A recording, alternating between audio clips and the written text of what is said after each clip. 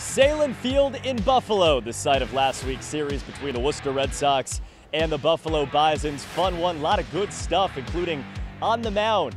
As we welcome you here to Sahlen Field, Cooper Boardman along with you as we recap the series that was between the Woo Sox and the Bisons on the road again. And really, the question was coming in could the pitching continue to do what it has done over the better part of the last month?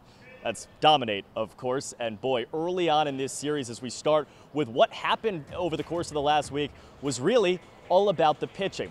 Woo Sox came in with a couple of question marks. One of them was Brandon Walter, who struggled in his first ever AAA outing after a dominant start to his AA season. Well, Walter, on Wednesday, after a rainout on Tuesday, delivered his first AAA win. The strikeout numbers great and was uber successful. We wondered, on top of that, how would Josh Winckowski fare after some struggles a week ago for really one of the first times in his AAA season after his major league debut? Uh, Winckowski showed no signs of struggle. Seven innings, strikeout after strikeout for the big man. One two delivery is swung on and missed. Now six strikeouts through five and a third. Awesome stuff from Josh Winckowski in this game. Winckowski becomes just the second Woo Sox pitcher to work seven full innings in a ball game, and he does it in complete game fashion in game two of a doubleheader with seven innings of work for him. On Thursday, it was a little bit more of a team effort. Connor Seabold set the tone in his first appearance in more than a month, coming back from that pectoral injury. He was great. Woo Sox bullpen cleans it up, and Worcester started 3 0 in the series. On Friday night, it was a Woo Sox loss for the first time, though it had nothing to do with Brayan Bello. Bello, well, I could give you numbers, but really, you just got to see it to believe it.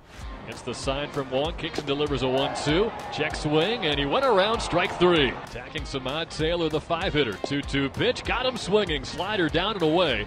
3 uh, 2 now, and it swung on and missed. Brayan Bello did not care. His eighth K. 1 2. Swing and a miss, and he's got it. The eight strikeouts for Brayan Bello. He has now K'd 42 men in just over 28 innings of AAA work. Those are real numbers. Those are real stats. The dominance has been legit for the young right-hander.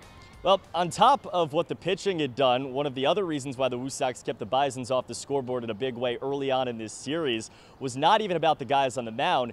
It was about the guys in the field. And this was a team early on in the year that was a little bit up and down in terms of defense. It's not been that way over the course of the last couple of weeks. And here in Buffalo, it has all come to fruition. On Wednesday night, a gigantic relay from Jarren Duran coming home from the plate. A beautiful play. He would tack on a sac fly would-be opportunity where he got the man out at the plate. We saw Duran this week, both in center and in right field. But the play of the week came from Grant Williams at third base, not the outfield, but on the infield. It's a play that, yeah, maybe you've seen the highlight, but if you've seen it before, you know you want to see it again.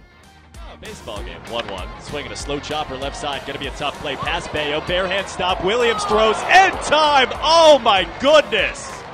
He had no business getting Groshans, and it frankly wasn't close at first. That was an amazing play. You know, I'm kind of like I was speechless. Yeah, I just kind of like reacted to when I saw it. It was it was unbelievable. You know the way he got to that ball and threw it right on the money too. It was an unbelievable play.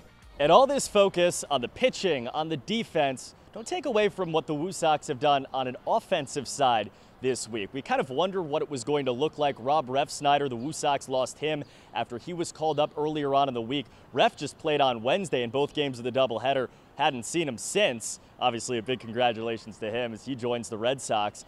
But you kind of wondered without that stalwart, without that guy who walks a ton in the middle of the lineup, who was going to pick up the slack? Uh, I honestly didn't even really need to ask the question because Ronaldo Hernandez has been otherworldly. This man, since the start of May, leads the team in batting average and in slugging. That slugging number well over 500, and he brought the bat from Worcester to Buffalo. First base side.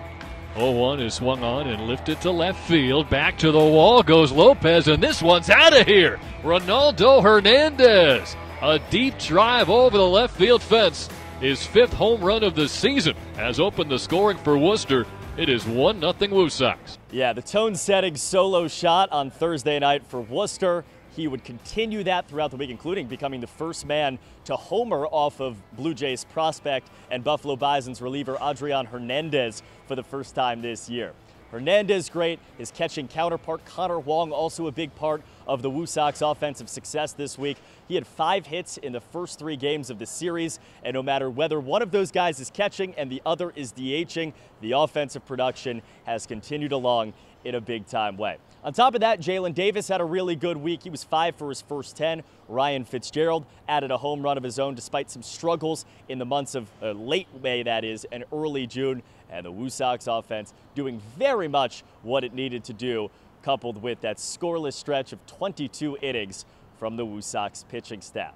Altogether, thanks to a win on Sunday, the Woo Sox win the series, and they've now not lost the series in more than a month. They will take that and try to continue that back home in Worcester when we come back. From Buffalo, I'm Cooper Boardman.